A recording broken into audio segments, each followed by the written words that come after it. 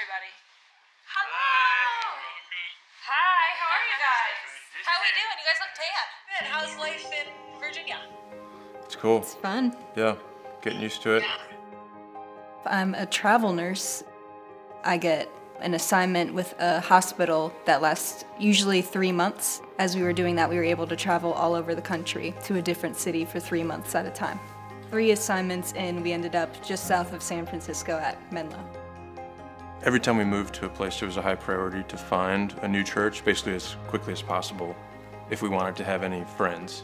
Any social life whatsoever, we basically had to find a church to do that. From that, we formed a group.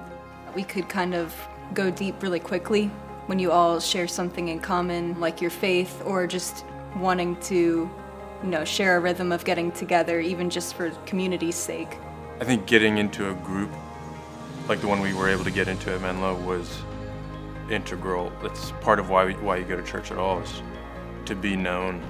Otherwise, you can just float in and float out, eat a donut, grab some coffee, listen, and then leave. So this kind of really plugged us in and helped us feel known. I mean, obviously we're not there in person and hanging out like on a weekly basis, face to face, but we still keep in touch. Like we're keyed in, we know what's going on in each other's lives. Even in a city on the other side of the country, I mean, we have people that we know, so if we were ever in the area, we could give them a call and we'd pick up right where we left off. We were able to give and kind of like form a, a group and get to know folks that we wouldn't have naturally run into. But Menlo put us together and we were like a family. we're also the East Coast.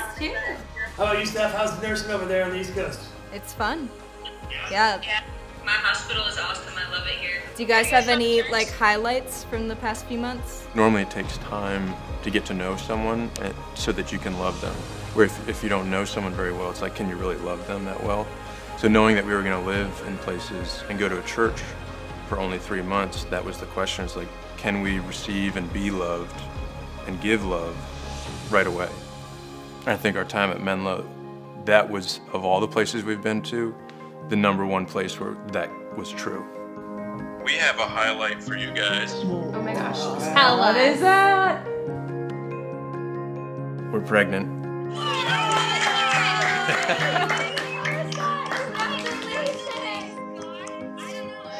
All right. Love you guys. Yeah, love you. Bye. Good to see you.